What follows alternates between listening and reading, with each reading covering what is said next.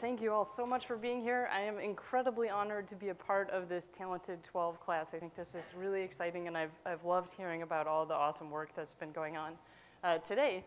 Um, so I am very excited to have a chance to talk to you a little bit about um, me and how my group approaches uh, doing science. Um, and so um, I'm going to start out by telling you a little bit about my background, um, but in reverse. Uh, so uh, currently I'm at the University of Minnesota. Um, I'm very fortunate to work with a number of fantastic students and postdocs. Um, you'll see their pictures uh, in a few slides. Um, I'm also very lucky to work with my biggest supporter. Uh, my husband, James Johns, is also a professor in the Department of Chemistry at the University of Minnesota, um, and that's been a very fun uh, experience. Um, you can see us here. This is our first day of work at University of Minnesota. We decided to commute by bike uh, from two states away uh, in Illinois um, where uh, I did a postdoc at Northwestern University with Rick Van Duyne uh, and learned all about plasmonics and nanoscience. Uh, I went to graduate school at UC Berkeley where I worked with Rich Mathies. Um, there I learned all about spectroscopy um, and ultra-fast lasers. Uh, and I was an undergrad at a small liberal arts college, uh, Carleton College. And um, I was a, a, Chinese major from the start, so um, I wasn't uh, convinced uh, that I was interested in chemistry when I started college. I was very interested in languages. Uh, but at a liberal arts school, you have a chance to explore lots of different areas.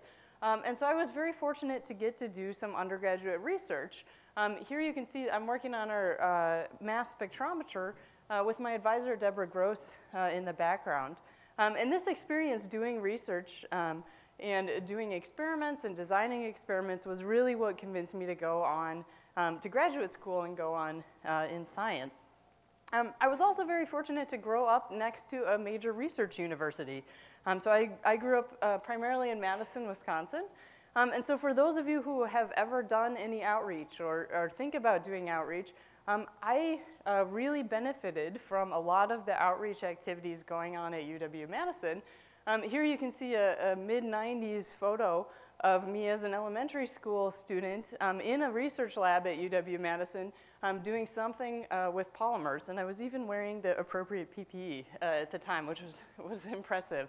Um, and so um, as this elementary school student, I, I got um, interested in uh, you know, the colors of chemistry and the different um, ways that, that chemistry can play a role that way. Um, and maybe you can see from the, the kind of dorky mid-90s glasses, um, I, was, I was probably a little bit of a nerd as an elementary school student. Um, and so looking back, uh, there were actually two things that I saw as a student, as a very young kid, um, that influenced how I think about science today. Um, so here's one of um, the things that I remember as a kid. This is a very old uh, movie. It's called The Powers of Ten, uh, made in 1977. Um, I don't know if any of you have actually seen this movie. It has over 5 million views on YouTube. Uh, so even uh, many decades later, people are still watching this movie. Um, and what it does is it starts with a, a picnic uh, in Chicago uh, and then zooms out many orders of magnitude to give you a sense of scale um, and what different powers of 10 might be as you zoom out.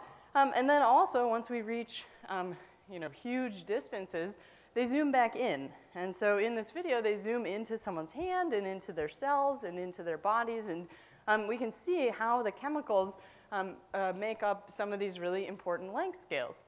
Um, so I thought this was a very cool movie uh, back when I was a kid. Um, something else I really liked was uh, this show, The Magic School Bus. And it seems like some of you may have um, seen this.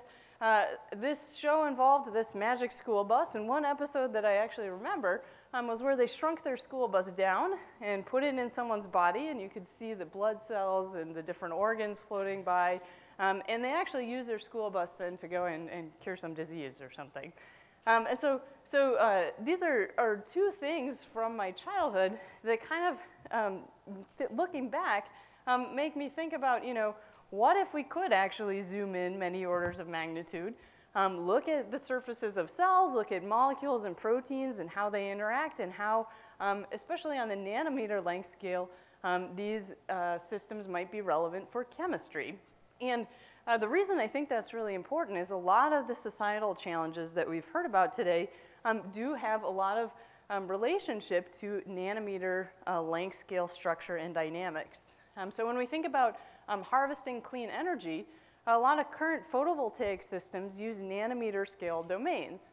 And understanding how charges travel through these nanoscale domains is really critical to understanding losses of efficiency um, and thinking about ways to design uh, better solar cells.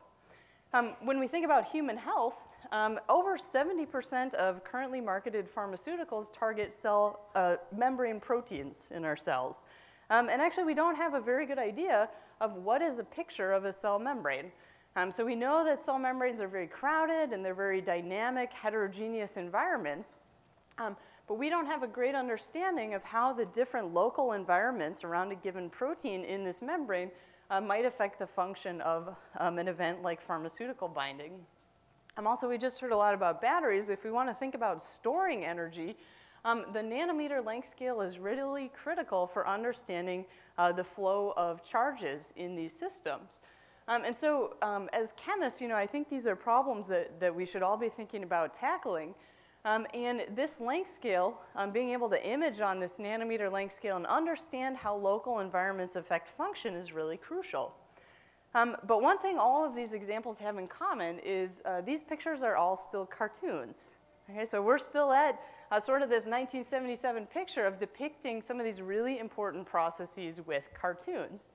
Um, and the reason why is because it's very hard to image on this nanometer length scale. Um, and so uh, I was trained as a physical chemist, and so I have one equation um, on the, the slide. Um, but this equation uh, is so important that the person who developed it put it on his tombstone.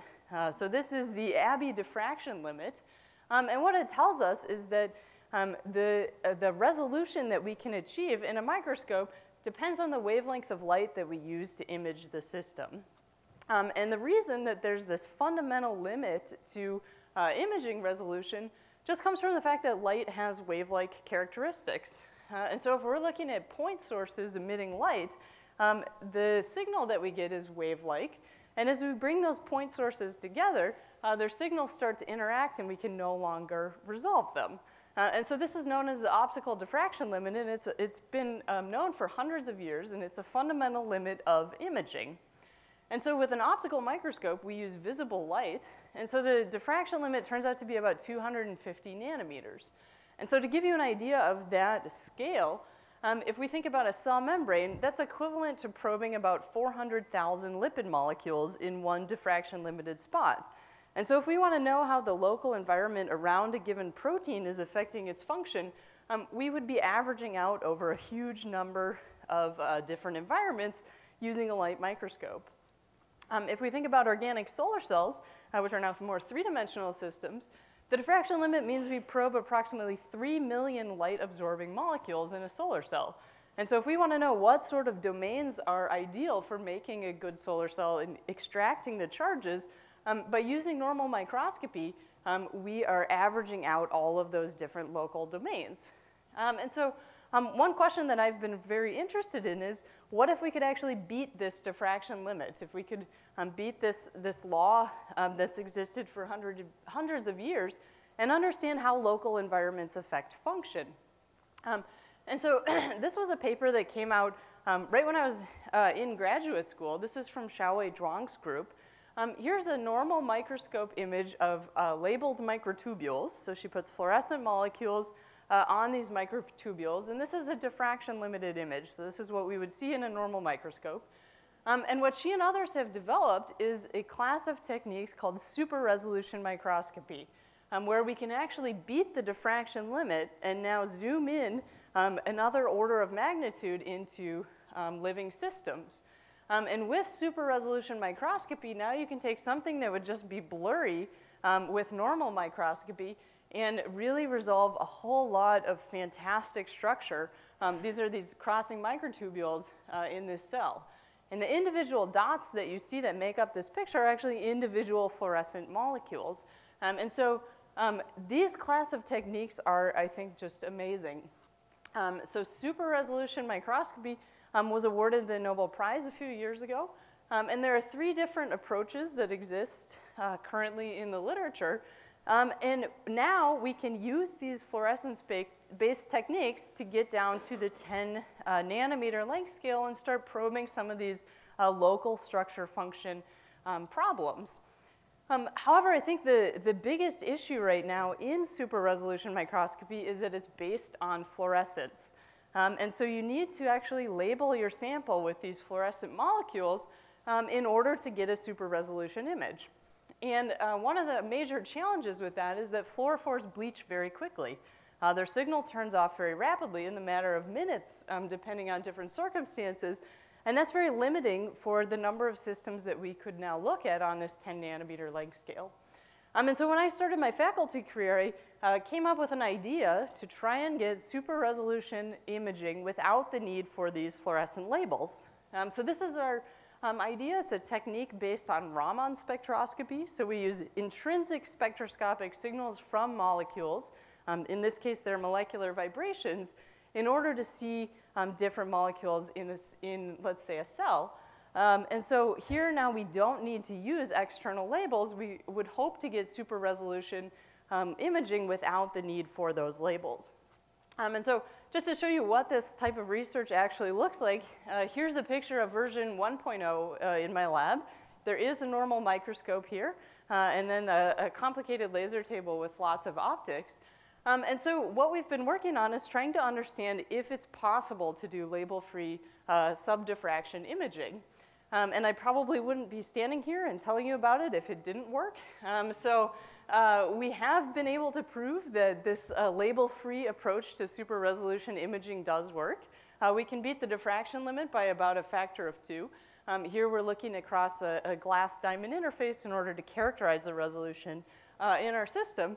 Um, and so um, now with this new tool that we have, uh, I think that we can really answer some of the questions um, that I mentioned in the beginning to really tackle some very important problems um, in society. So thinking about how local environments can affect drug receptor binding interactions, um, looking at solar cells like bulk, bulk, heterojunction photovoltaics, or looking at how, how charges transport across different nanoscale interfaces, um, we can use what we learned to then design um, more efficient uh, systems. Um, and so uh, with that, let me thank my uh, really fantastic group uh, who's been inspirational in getting this done. Um, we're passionate about Raman spectroscopy. Here's us laying down um, with our Raman theme, and we are also very interested in the colors um, of our samples and spectroscopy, so we have a rainbow theme. Um, we've had a, a, number of wonderful collaborations and um, great uh, support from our funders, and thank you all very much uh, for listening to me.